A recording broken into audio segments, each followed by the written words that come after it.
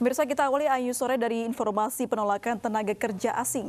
Unjuk Ya. rasa tolak 500 TKA di Simpang 3 Bandara Haluo Leo, Konawe Selatan, Sulawesi Tenggara nyaris ricuh. Pengunjuk rasa juga nyaris menyandra seorang TKA yang akan masuk ke Bandara Halu Oleo.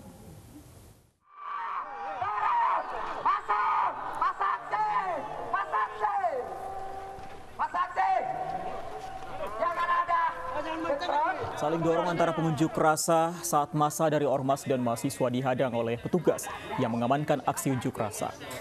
Mereka khawatir para pekerja asing menjadi klaster penyebaran virus corona.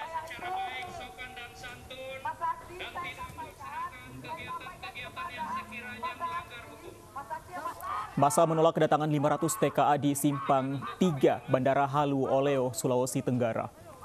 Unjuk rasa ini dipimpin oleh anggota Komisi 3 DPRD Sultra Sudirman.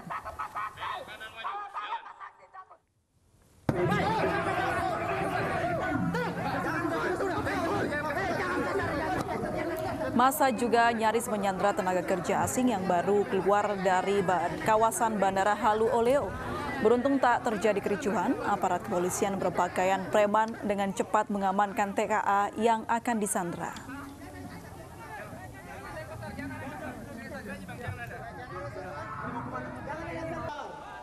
Bunda relakan darah juangkan dikuasai oleh negara.